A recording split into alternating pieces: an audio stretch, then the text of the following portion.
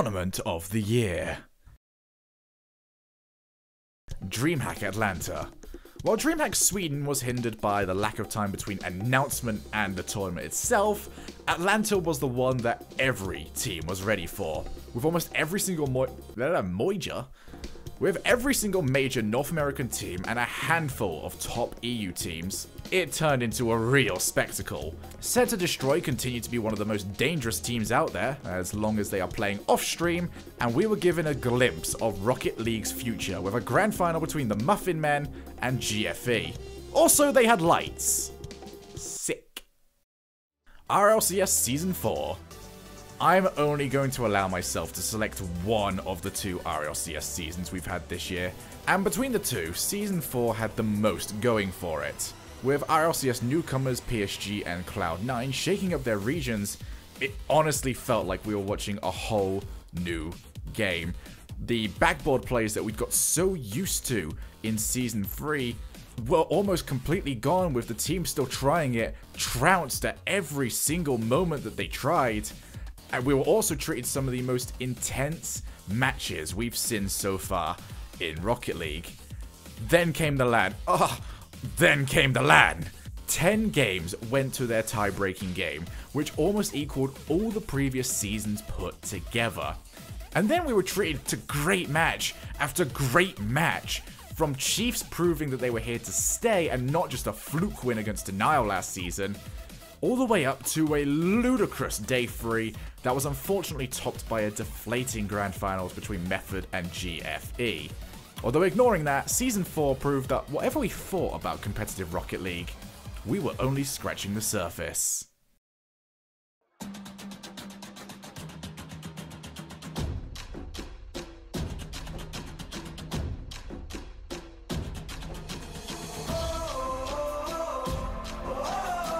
The World Cup. Well, this certainly adds some variety to this. Forget best of sevens or team legacy. This was all about international teams battling it out in best of ones. No, not 10 minute best of ones. No, not 20 minute best of ones. You're all regular, 5 minute long best of ones, which some people had interesting reactions to. Coupled together with stellar editing work by League of Rockets, and you were gifted to one of the most feel-good tournaments we had this year, with everyone pulling for their region. Best of One also worked well at making everyone just feel so precarious about their favorite team winning the whole thing. Sure, we had favorites going in, but yeah, Best of One, anything could go wrong. And nothing shocked the senses more than Scotland crashing out of the group stage to really hammer home just how hard it was going to be to win. Well, for most teams anyway. Despite the great Cinderella tales such as Brazil's surprise run through the bracket, it was the USA who crushed everybody on their way to World Cup glory. Ah, if only that translated to the real world. Rocket League Esports has arrived. Rocket League. Esports has arrived. Rocket. League Rocket Esports League has arrived. Esports has arrived. Okay, now we can say it properly. Look, it's all well and good from within our little bubble of a community to keep saying that Rocket League Esports is real. It's another thing entirely when a major org like E-League announces a major prize pool for a tournament featuring our game. And what a tournament it was. Taking a more traditional sports format of two groups followed by a knockout stage, we were met with incredible production values, stellar casting, and a grand final for the ages between two teams that had already met in the real group of death. Every match felt important, and it was produced so well to include information not only for veterans of the scene, but new viewers as well, who were just seeing Rocket League for the first time. All in all, when you look at it, and especially when you consider just how well Rocket League has done, not only on Twitch but ratings wise on TV, E League was a success on every single level. Major shout outs need to go out as well to the Collegiate League, Major League Doubles, and the Gfinity Elite Series that have all done incredible work in their own right. But these were the premier tournaments of the year, as well as a little bit of spice added in by the World Cup. So when it comes down to this, am I asking for the best tournament or am I asking for the one that did the most? I'm asking for the one that did the most for the scene. So, E-League is my winner for this year. It was very close for me, picking between the Season 4 of RLCS and E-League, but for me, Season 4 of RLCS proved something that I never thought would be true, and that is that you can have too much of a good thing. By the time we got to the end of the tournament, nobody really had the energy to go any further, not to mention the poor boys on stage who were just not there anymore. It just wasn't as grandiose as it needed to be. However, in terms of the way the tournament was put together, E-League was everything I want to see from future Rocket League tournaments. It kept itself short, it kept every single match being what made worthwhile, and so for the future of Rocket League tournaments, I hope that we look towards E-League as the way to go in the future. So they will be named this year's Tournament of the Year.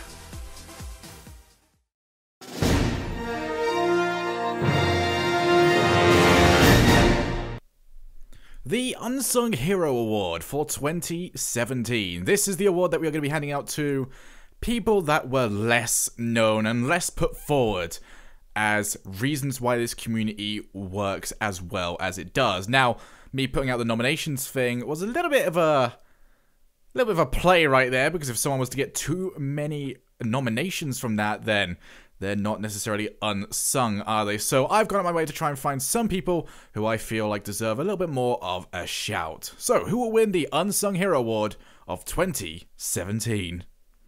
Furtive Raccoon. You know when you just feel genuinely pleased for someone? Me neither. But when Furtive Raccoon announced that he was going to be joining Smash.gg, I genuinely was overjoyed for him. One of the integral parts of Gold Rush going ahead, as well as many other tournaments, Furtive not only did an incredible job behind the scenes of these tournaments, ensuring that events went off without a hitch, but has also had to put up with people like James Bot and Quinn Lobdell. You poor bastards. That is the reason why this year I want to acknowledge Furtive Raccoon as my representative for all tournament organizers out there, no matter what the org. We don't do this scene without ya. Kim Meltzer. Never heard this name before? I highly doubt you have. Following the trend of backstage maestros, Kim Meltzer is in charge of Twitch's hospitality for every RLCS event I have been a part of. And to say her and her team do a good job would be a massive disservice. For many of the pro players, RLCS LANs are the very first opportunities they have to leave home and play Rocket League for a living.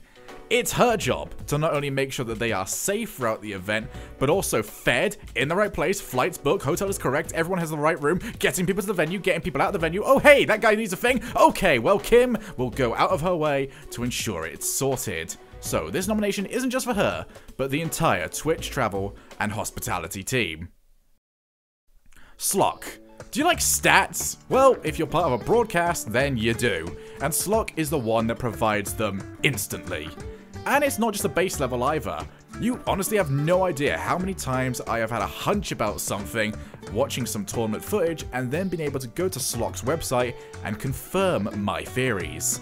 And now he's recently released Octane.gg, a new stats and info site all rolled into one. And it's glorious. Even now, it seems his work won't stop getting better. Even though he's one of the most recognizable names on this list, Slock more than deserves his nod as Unsung Hero of the Year. Vile Broker. Damn, Doomsy did a great job with those after movies, and I'm not trying to take any credit away from him, but damn, did Vile Breaker do a great job getting a lot of those shots that were used for them, especially back in Season 3.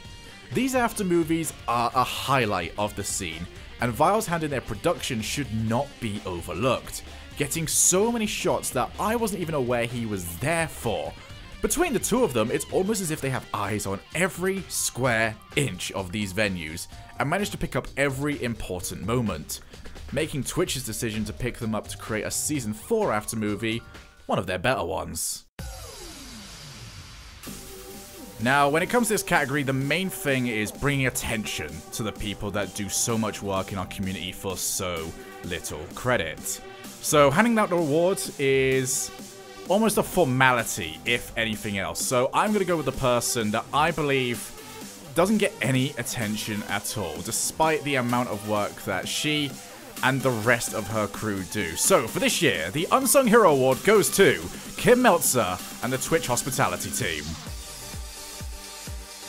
Everyone on this list is very worthy of winning this award. However, not once did I see any mention of the Twitch hospitality team, and I understand completely why.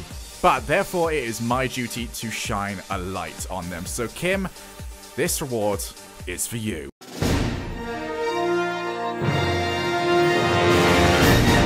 Personality of the Year. Nomination number one Rizzo. He did a little dance and people made a goal explosion out of it. If that doesn't tell you how popular Rizzo is, you're not paying attention or you're just turning your eyes away from it. When it comes to being a pro player, Rizzo has the full package. A very good player with great social media interaction, and he handles a microphone better than he handles someone dribbling at him. When he originally made the move over to G2, I was convinced that he would become the most popular player we have in the game. And the amount of nominations he received for this award proves this theory to be true. With strong recent tournament showings as well, only helping his cause, Rizzo's 2018 looks to be just as incredible as his 2017. Nomination number 2 Doomsee. The first season of the Gfinity Elite series was all about one man. With fans writing his name on whiteboards and often being the focus of many post game interviews, Doomsee embraced his role as the face of the Rocket League series with gusto. Whenever I get asked which players I think will do very well on a broadcasting job, Doomsee is one of the names I bring right up there. An opinion that I hold even stronger after he was brought on as a guest analyst for the Season 2 Grand Finals. And while he still has the drive to become a force in the competitive scene, there's no doubt Doomsee's personality will keep him around for a long time. Kronovi. Cole was right, it's almost nostalgic that Kronovi is good again, and it just makes the world feel right. With G2's rise becoming a premier team once again, Kronovi has been thrust back into the spotlight, and he hasn't missed a step, knowing exactly what to say and how to phrase it. Long gone are the days where Crow was struggling with his newfound fame in the opening months of Rocket League's release, and instead he has had time to develop and create a great storyline around his return to top form. Crow, it's great to have you back on the big stage. Turbopolsa. Turbo is brilliant. He speaks his mind and wasn't afraid to become the bad guy at the most recent RLCS finals. Although nothing he said was actually wrong. Despite this, it's incredibly hard to root against the guy. Always smiling and enjoying the events, but also has a competitive drive that allowed him to burst to the forefront of Rocket League esports. Although his Twitter game needs work, we get it, you're garbage at this game, Turbo has become the mouthpiece for one of Europe's most popular teams. Long gone are the days where pro players would stand on the stage and simply not know what to say, whilst just mumbling away into the microphone. Now players are starting to realize that it's not just about being able to play well, but there's a lot to go along with it. And these are the players that know how to be what people want them to be. The fans want to see them be interesting. And one of these players simply just does it that little bit better. Rizzo, you win. Hey, did I receive some nominations for Rizzo in this category? Yeah, yeah I did, and there was a lot of them. However, it is hard for me to disagree. Everybody on this list seems to completely understand that when you play, you are going to events. People at those events want to come and speak to you having that side of you that can be approachable, knowledgeable at the game, and also convey that into words is so, so important. And Rizzo, for me, is the person that is currently doing it the best.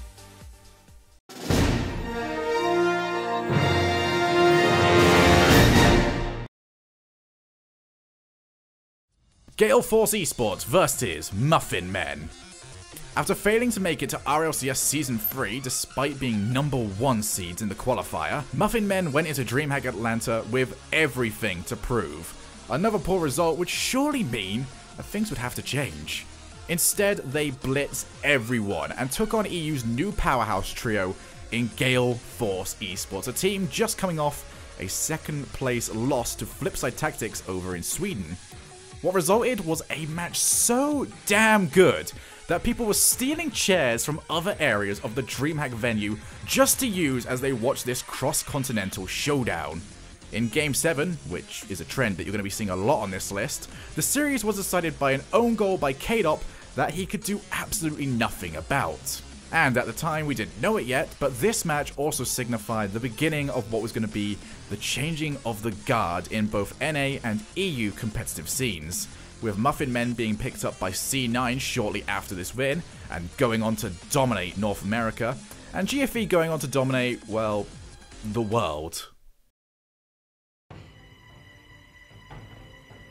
The grand finals of E-League certainly didn't start like your typical match of the year contender, with both teams taking lopsided victories that led to the series score being close and pretty much nothing else.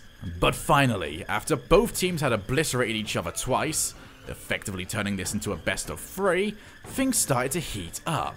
Gale Force went into full mole mode, snatching Game 5 and the first goal in Game 6, G2 responded by strapping a sledgehammer to Rizzo's car, and after a 2 minute 40 second overtime, JKnaps finally completed his transaction to support the level 3 backpack Kickstarter, no this is not an ad, and burst into action with the winning goal to send them to Game 7, which G2 won after a miraculous save from their talisman.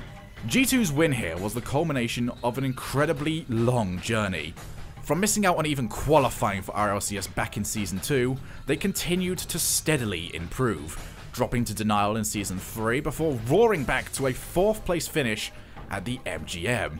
This was a much deserved end to an incredible year of Rocket League. Gale Force Esports versus Method. I said it immediately after the match, and I'll say it again now. This was the best match I have ever had the opportunity to commentate. Having successfully traversed the winner's bracket, these two European titans came to clash in one of the closest series we have ever seen. Here's a tip for you, if you ever see GFE and Method playing against each other, you're gonna be having a good time. They played a ridiculous amount of overtime, and in the end, it only came down to Turbo Turbopolsa going into a full blood rage for GFE to smash their European rivals down to the lower bracket. These teams would meet again in the grand finals, but an exhausted method couldn't hold up to the laser focused GFE, who went on to win the RLCS Season 4 Championship. Flipside Tactics versus Resonant. When it comes to award shows, it's very easy for the most recent events to stick out more than the things that happened earlier this year. But Resonant vs Flipside was important both at the time and six months later. In the build to Season 3, Resonant, who were Team Secrecy at the time, had been dismantling Flipside in weekly Gfinity tournaments. And with a 3 game to 1 lead in a match that would decide who would go to the World Championships, it looked like it would be happening again. Then experience came to play. It's all good to beat Flipside in a weekly tournament, but with so much on the line and a goal in hand, Resonant began to crack, allowing Flipside too much space to play, which the world champions happily took advantage of. Resonant dropped six unanswered goals before finally waking up and clashing in one of the finest individual games of Rocket League ever played. In the end, it was King Clutch himself, Cooksir 97, who proved to be the difference maker. Six months later, and this game still stands out. Flipside find themselves rebuilding after a subpar Season 4, and the lessons learned by the team now known as Method won't be forgotten anytime soon. Okay, please do not envy me in this position. Every single one of these games was ludicrous to watch. And for me, there is very little separating them. But unlike those average TV show hosts that you're going to see, I'm not going to say it's impossible. Because guess what? It's not. There is a best game of the year. And that game was quite simply GFE versus Method. Look, I really had a long time where I was not going to put this as number one, but I sat myself down, rewatched every single series I have on this list, and asked myself which one did I enjoy watching the most? And it was Method versus GFE. Simply put, every single time those two teams play against each other, it is magical. It is the best Rocket League you can see. So if you do ever see GFE versus Method happening again, stop what you're doing, put everything down, and make sure you are watching because they produce fireworks.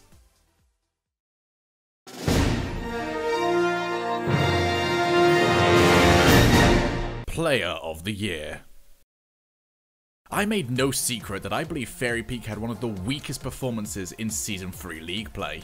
So bad that I thought he would struggle to recover and find his feet in the standard start of game. After spending so much of the earlier year destroying twos tournaments, it looked like he wasn't going to be able to progress in his career. So for him to make this list can only go on to show just how well he turned his year around. It just seemed like the moment he stepped in Los Angeles, he was still the quiet, reserved Frenchman we knew he was, but once he stepped on the Rocket League pitch, we all knew something had changed. Becoming a key component in Mocket's impressive second place run, he didn't let up after that. Over the course of Season 4, his in-game IQ seemed to have progressed a couple of years in only a few months. He was always a mechanical genius, but often found himself out of position and nowhere near close enough to an area where he could show off his skills. But not anymore. Fairy Peak progressed from a player that has a magical touch to a player that can now get magical touches. Squishy Muffins. He can do donuts with a Batmobile while keeping the ball on his roof.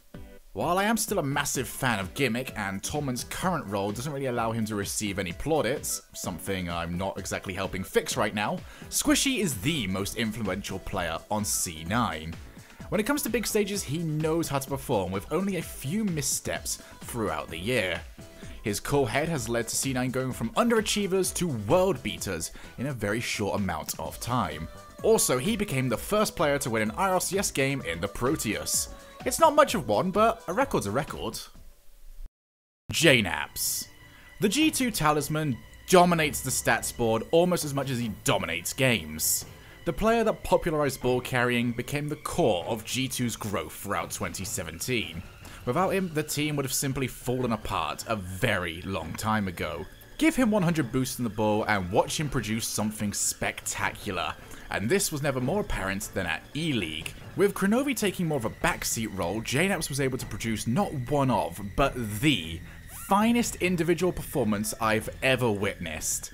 And now that G2 has everything figured out and seemingly caught lightning in a bottle, they'll need to continue to support JKnaps as NA's talent pool continues to grow, especially as they now aim to take over their region. Kaydop. I kept you waiting for this one, didn't I? Kaydop will be the only representative from Gale Force because if I don't limit them, they're going to dominate this category much like Match of the Year. So why him over Turbo? Yes, Turbo has the title of the two-time, but if that's as far as you're looking, then this would be a very shallow award to hand out, especially if we were to separate them using just one game, no matter how important that game was.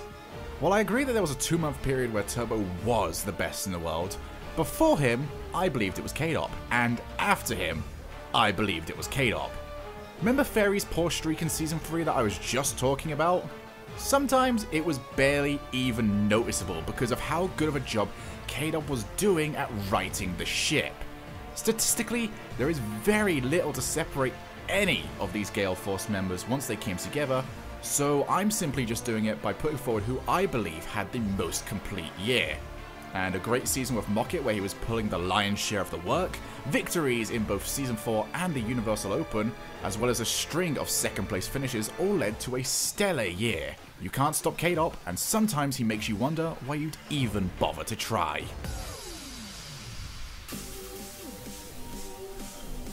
We have had so many incredible players that I did not have the opportunity to list down here. However, we always knew that it was going to be somewhere around these players.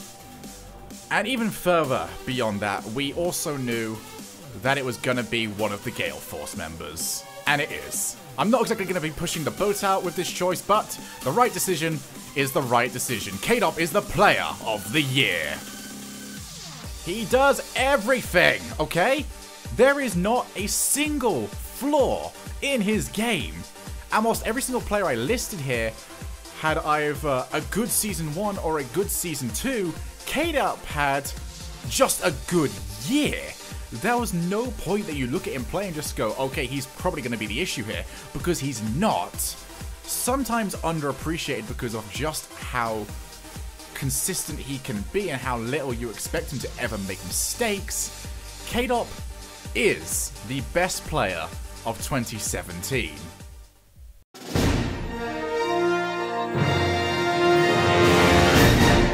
Team of the Year Cloud9.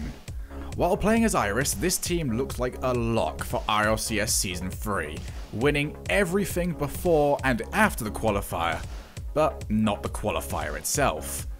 What followed was Iris moving on from the Chinio and picking up Gimmick, before entering a zen-like state while everyone else played in the RLCS, and they awaited their first major opportunity to show off what they can do.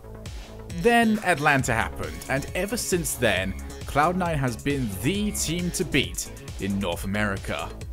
While many broadcast talent like to refer to them as the new Kings of the North, C9 have held their sights higher than that.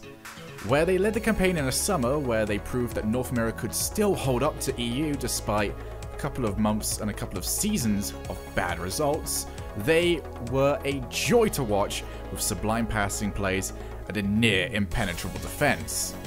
That's if they even give you a chance to shoot, that is.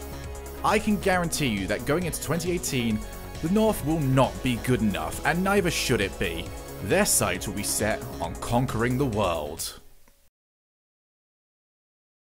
Gale Force Esports. Ever since forming, Rocket League has been Gale Force's playground. They're a team comprised of individual superstars Violent Panda, Kaydop, and Turbopolsa to create one of the most impressive units in Rocket League, with a vast amount of tournament results ranging from first to second. A lot of seconds. Sure, they had a blip against PSG and Method, but that's all it ever turned out to be. Two losses against top teams on their peak form, which they quickly turned around to obliterate the rest of Season 4. Put simply, Gale Force doesn't have bad games. Their team comp, which requires each player to pull their own weight, simply just doesn't allow for it. So when they play, it results in either one of two scenarios. Either Gale Force crushes their opponents, who just can't keep up with their blistering speed, or the other team steps up and we have ourselves a real match. Look, I make no attempt to hide the fact that I am a Method fanboy, and their progression to become a top team this year has been a fascinating one. After spending the first few months of the year as the team pegged to finally dethrone Flipside, their first season as a team in the RLCS was anything but smooth sailing. Despite some good results, they were knocked out by the very team that they were supposed to be the one to dethrone, and were forced into a difficult decision. Stick together, or split and look for better opportunities. They chose to stick. Sign with Method, they've had four different names this year, and participate in the Gfinity Elite Series, which turned out to be an incredible learning experience for them. They returned for a star making Season 4 with second place finishes in the Universal Open, RLCS Regionals, as well as the World Championships themselves. Right now, the only thing holding them back is the lack of a major championship victory, but they'll know more than anyone that there is only one more step to take. Chiefs Esports Club. This position could have gone to either NRG or PSG, but instead it's going to go to Chiefs, and I'll explain why. Great teams challenge great teams and make them even better, pushing the level up higher and higher, while everyone else chases behind them. But Chiefs don't have that over in OCE. Sure, there's some teams that will push them, but no true rival. So that makes their 7th place finishes in two seasons of RLCS, as well as E-League, all the more mind-boggling. These boys are the true freaks of Rocket League. They have no right to be as good as they are, and yet they still challenge and even beat some of the best the original leagues have to offer. If we were to argue consistency, then no team has been more consistent than the Chiefs, who won both of their league play seasons. Quick pace, calm heads, and an ability to read almost any situation make Chiefs a fine nomination for Team of the Year. Also, I figured that if I'm really nice to OCE, they'll fly me out one day. Hello there, ladies and gentlemen. This is the live version of Shogun finally coming through to you. Um, this has been a pain at the ass to put all of this together, but it's been good to get to the very end. And speaking of the very end, let us discuss the Team of the Year. Or do we really need to? There is only one Team of the Year for this year. It has been a 2017 that belongs to Gale Force Esports. Do do do do do do do do do do do do. Oh God, what else am I supposed to say in this situation? Gale Force are currently the most consistent and the best Rocket League team out there. There is no arguing this fact at all. And whilst the other teams on here were opportunities to talk about other teams that we have around, that's what they are. They are other teams that we have around. They are the challengers to Gale Force's throne. It is every single time we get into a tournament, Gale Force versus who? Not who's going to be taking on who. They are a certainty every single time we get into a tournament. And with that, we'll be calling the end of the Shogie Awards in 2017. It was a little bit more serious than I was expecting to take it, but there was limited time, and I've certainly learned lots of lessons heading into doing some more video journalism for the rest of the year. If you guys have any suggestions for me, I would highly like you to send them over to me on Twitter. Also, make sure you talk on Twitter right now about how incredible the Shogie Awards actually were and that they were the best thing that you've ever seen because they were. So make it sound like it was better than it was, okay? Just keep it quiet. No one needs to know. Thank you so much for watching, and I will see you guys very soon.